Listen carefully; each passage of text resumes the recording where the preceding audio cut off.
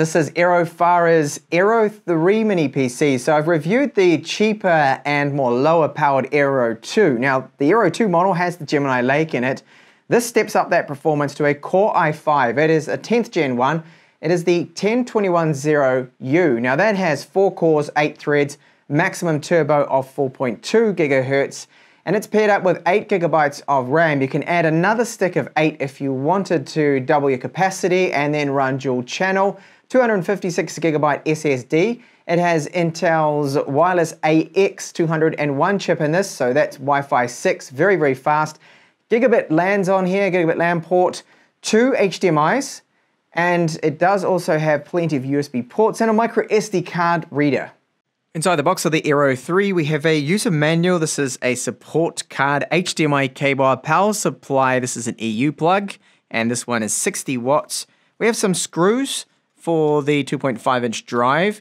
The VESA mounting bracket, yes, that is included. Very few mini PCs actually include this in the box. Looking now at the build and design of the Aero 3. So here we have gigabit LAN, two USB 3s, and two HDMIs which support 4K 30 only, which is a big mistake here. I would have loved to have seen 4K 60. Really, we do need that, so then the desktop would be nice and smooth. At 30, it is very choppy. Power in right here. So this is all alloy around the outside we have an exit vent right here and a SD, micro SD card reader. Now, it's a little hard to get the micro SD cards in and out of this slot I have found with that one. So the hot air is then blowing out that back and it comes in right here in the vent. You can just see right in there the BIOS battery. So the front of this, we do have the power button, 3.5 millimeter headphone jack with mic support, another three USB 3s, two Type A's and one Type C and this is a reset there for our BIOS. If you mess up any of those settings, then you can reset the whole mini PC without having to unplug that battery from within it. And then on the bottom of it, we have the two mounting points there for that VESA bracket that I showed you that we do get in the box. And if you want to get into the internals of this one, you need to remove these little rubber pads here that act as feet, but behind them there is a screw. The back part is what slides out, so you just pull it out like so, and then we have access to the fan for cleaning if you wanted to do some maintenance to this. You look right inside there, you can see that they have used copper. That copper goes right through to the end with the fins inside here, and two transfer, thermal transfer pipes there too that they have, and a rather large fan. Now, this fan doesn't make a lot of noise, but you do hear it when it steps up into the higher RPMs, trying to cool this down once you really push it very hard. So that is the battery right there for the BIOS, but we've got that reset switch that I mentioned. Flipping it over now, you can see where we put the 2.5 inch drive, so you do have to undo these screws here all around if you want to change or swap out our SATA 3 drive, which is right here, and the RAM. So we've got one SODIMM that's in this DDR4 spec, 8 gigabytes. You can add another 8 to give us then dual channels. At the moment, out of the box, it's only a single channel configuration with our memory, and that does mean we are missing out on some performance benefits of better memory bandwidth if it was dual channel. And you can see right inside there all of those fins there for the cooler, and this is our wireless card, which is sadly part of the motherboard. We cannot swap over or upgrade or change our wireless in this now, if you're looking to add more RAM to this, you do have to remove the SATA 3 brace, the bracket inside, in order to gain access because this blocks it off and I could not get the RAM out. So that's the RAM that they have used. This brand I have not heard of before, but it is using Micron chips and it should be perfectly fine, this RAM. So what I will do is now add a second SODIMM DDR4 stick into this. So I will run this with the RAM in dual channel just so we can see the maximum performance this mini PC is able to achieve. Just before I get into Windows, the BIOS, so this is completely unlocked to us. That's why they have the reset button on the outside, that if you mess up any of these settings, you don't have to open it up. You can just simply press that and reset and go back to the user defaults. So a lot of things can be changed in here. We can tweak the power limits and whatnot. They can all be changed and you can push it a little bit higher. But be careful about those thermals if you decide to do that. Now, overclocking feature is not actually overclocking, as I mentioned in my other videos, but we can undervolt with this. You can also do it with XTU. Now, I will not be undervolting or changing any of those settings. It's all going to be stock default. The only thing I have is added that extra sticker RAM to get dual channel to give you the best performance specs and figures right now with this. So when you first turn it on, it does have a lot of pre-installed language packs here, as you can see. So you don't need to download them and then install them because they are already part of the Windows 10 image. So looking here, it is running Windows 10 Pro. Now this is a digital activated license that they have with this, and it does seem legit. No problems at all with that. So I was expecting that it would probably come with Windows 10 Home, so that is a pleasant surprise to see that. So that SATA 3 SSD that's in there, this is the speed of it. It's not exactly the best I've seen. It's okay. Now, if you did want fast, I highly recommend that you put something like a Samsung 960, 970 EVO in this NVMe drive, which it does support. So you can run the faster speeds then, and that'll be like about three, four, five times faster than this. And of course, you can increase the capacity. You can add another 2.5 inch drive if you wanted some slower storage, that is, like a Spindle or a SATA 3 with that. So this chipset that is in here is the Core i5 10th gen. It is the 10210U. Now this is either configured from the manufacturers to have a power limit of 15 watts, or you can configure it with the TDP up. This is the power limit up to 25 watts. So I checked this out with HWiNFO, and out of the box, it is configured to have the 25 watts. Now, of course, you can use something like Intel's Extreme Tuning utility. You can tweak this. You could increase the power limit, but the fan noise will be definitely a lot louder, and the thermals will get a bit higher. So I'm going to keep everything stock for this review. The only change I've done is just added another stick of RAM to make sure it is in dual channel, which of course it does support. Now, maximum RAM speed is 2666 megahertz with that. And I'll just show you one other thing here that is in the device manager. And of course, um, right here, you'll see that it does have the wireless 6 card, which is the AX201. This is an excellent Wi-Fi card. So even though we can't replace it or upgrade it, this is extremely quick. So you can get over 2 gigabits depending on your router. And I'm getting about 1.4, 1.3 with my router, which isn't the fastest out there.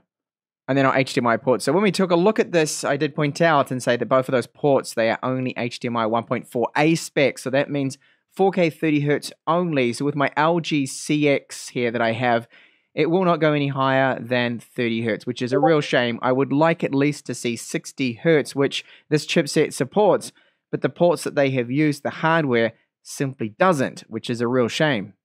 General day-to-day performance of this mini PC, very, very quick. Everything pops up and loads in very fast. Documents, YouTube, things like that.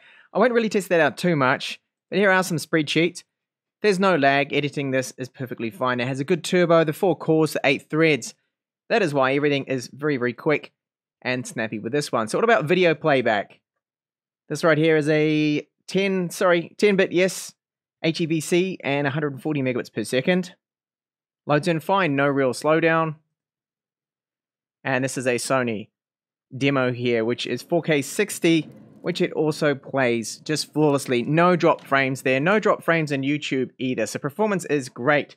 What about some synthetic benchmarks? So this is the Night Raid score recommended for integrated graphics. It's all right. It is definitely lagging behind the Iris Pro 655 graphics. This one has the 24 executional cores. And this is our Geekbench 5 score. So single core score here is good. Thanks to the 4.2 gigahertz turbo it has. Multi-core score, that's alright because it has the 4 cores and the 8 threads. Here it is compared to the 8259U, which gets a lower single core score, slightly better multi-core score there as you can see. And our Cinebench score, so this one is nearing up, well, over 1400 points here, which is okay for, again, the spec of this mini PC. This is only about 51, well, 51 points below the 8259U. That's a 28 watt processor. You have to remember that this one's 15 watts onto 4K video editing with Adobe Premiere Pro. So this timeline is a little laggy. I have noticed that sometimes there's quite a big delay. Right now, it doesn't seem to be too bad. So yes, you can edit 4K video, but as I always say, these are basic edits, okay? So I'm not color grading, I'm not doing any fancy transitions or anything like that. Very, very basic, like my reviews are, and that will be fine. So I'll test out now the export time. So this will be with the 4K YouTube pre preset. and I will time that as well. We'll see how long it is going to take for one minute of footage to be exported. And it is starting to finish up right now, so once this bar disappears, I shall hit pause here. There we go. So take away one second. About one minute and 13 seconds for one minute of footage is good. That's not bad at all. In fact, that's better than the new Redmi Book Pro 14 that I'm testing. That one with the MX450 NVIDIA took almost three minutes, I think it was, to fully export. Something was up with that anyway, as you'll see in the full review of that particular laptop model. But this is good. One minute, 14 seconds, I think is good for the hardware. Onto thermals now. So sadly, it is triggering thermal throttling. You can see there, yes, and 91 degrees Celsius. That is what it is getting up to. So it does get a little bit warm. It peaks at that, but that was only when I was gaming that it will really get up to that. When you push it really, really hard to constant benchmarks or gaming, then you will see this happen. So what about power use? At idle, it is approximately 7 to 8 watts. Peak, it peaked at 68 watts from my wall meter from the wall socket.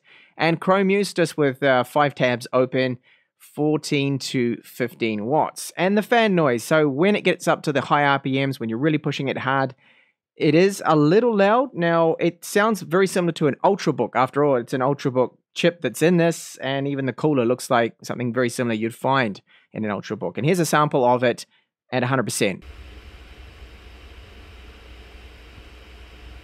Onto gaming performance now. So my typical tester of GTA, this is on the low settings, 50 frames per second. And it's actually doing all right. 720p though, I wouldn't run this at 1080p because it is going to then dip under 30 frames per second. So you can see right now that we are looking at around mid 30s here with the frame rate. And it's playable. If you wanted to play a little bit of this on the side and you don't mind having the low settings and just running it in HD, then it's going to be perfectly fine. But what I'll do now is also check out a little bit of Counter-Strike. We'll see how that one performs. So I have this one set to 1080p, and I think I probably should have put it onto maybe 720p. You can see the frame rate down the bottom right-hand side, which is only around mid kind of 60s at best, into the 50s right now. And for some reason, I cannot shoot. The trigger is not working with my mouse, but when I go to click going through different players with a preview, that works for some reason, which is really, really weird. No, I, okay, we I can shoot, but I really have to hammer my mouse. I don't know what's going on there. Need to hold that down. Oh, he got me. He got me, definitely. I did not see him. And I pushed my mouse button again, and it failed to work. Look at how he completely got, got me there. Okay, so not ideal performance. It dips down and gets into the low 30s there. So with this game, you really want to be 60 frames per second at least minimum. Finally, Linux support. So not a problem at all with the Aero 3 here. Everything fired up just fine. It supports the wireless Bluetooth. Audio, that is also too working. And no problems. It does feel very, very quick and snappy running on this hardware. Okay, so a little recap here. The things I like about this mini PC. So I do like the size of it. It's a good compact size. I like the fact that it has the VESA mount included in the box. So many manufacturers now are not including that. You have to hunt around and try and find where you can get a mounting bracket for it. So you can put it on the back of a TV or monitor. It's got plenty of ports on it, so all the USB ports, micro SD card support as well, although it's a little tricky getting that micro SD card in and out. I wouldn't want to be doing that all the time. It's very fiddly. You need really long nails for it for that one. So it is actively cooled, of course. So there's a fan, there's a little bit of fan noise. And that sample I showed you was at 100% when it ramps up. So it can be just minor irritating kind of noise that comes through from, from this mini PC. Performance-wise, for all your light computing, which is what these are designed at, you're not going to be playing AAA games, you're not going to be doing super complex video edits and things like that with CAD work or something with a mini PC like this. But for documents, general computing, video playback performance, very, very good performance. It just feels very quick and snappy for that. It does take a bit to bog this down. Now the RAM is sadly configured only in single channel because the stick is just in one of the slots and you're going to need to get another RAM stick, another SODIMM and install that if you want the dual channel RAM performance, which is what I showed you. So gaming as expected for the Intel UHD graphics is nothing wonderful. So you can play older titles like say Skyrim or you can play light engines like Counter-Strike or League of Legends, just lower the resolution, lower down the settings to get a more acceptable, more playable frame rate with that. So it has Windows 10 Pro on this, which I didn't expect. I thought it might have been Windows 10 Home, and it is a valid digital license, so that's a positive there. And you can upgrade and change over the SSD. If you wanted faster, it's only SATA 3, so if you wanted NVMe speeds, then you could buy yourself a faster drive to put in this. So all up, it is an okay mini PC, but it falls short in a few areas, like the HDMI 2. So HDMI, it does not have HDMI 2.0 spec, so 4K 60, it is HDMI 1.4. That's a bit disappointing there too. And I feel it's a little pricey considering the spec of it, what is on offer there. Now it does have the fast wireless 6 chip, so that is good to see. Some manufacturers are still using older, say the 7000 series of the Intel chips, but the AX201 very quick with the Bluetooth 5 support, so that is good to see there. So you can't even upgrade it. Linux as well with my little test runs great, very fast on this. So there you go. You know now the full story of the Aero 3 here. Thank you so much for watching my in-depth review of it.